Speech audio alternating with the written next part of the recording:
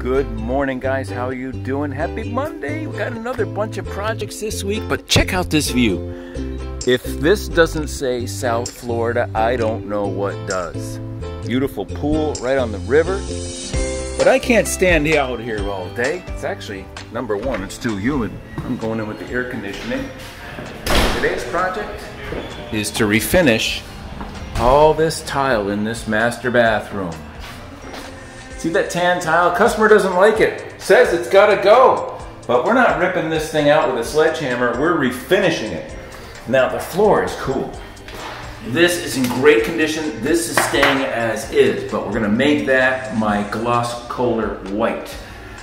The glass we're gonna work around, but you can see there's silicone down here. We're gonna dig all that out of here and mask this nice and tight. Make it look real. That's what we do. So that's today's project. Spray it up today, clean it up tomorrow. As much as I would love to sit outside and stare at the river, there's a lot to do here. Thanks for watching. Can't wait to see this one. Well, I don't know about you, but I love it when a plan comes together with color. Check out what I did in the last 24 hours. This tile, as you remember, was tan. Kind of same color as the floor. No more. It's the gloss color white finish that complements this white tub. And check out the floor that we left alone. The floor is beautiful. Why bother covering that up? Because it complements the white. Then the frameless glass also left alone because it's in perfect condition.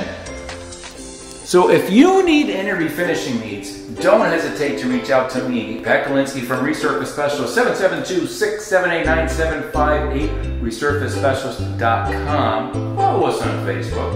And if you need any home remodeling and decoration ideas, Splendid Home Design, because that's who we're working with lately, and especially on this project.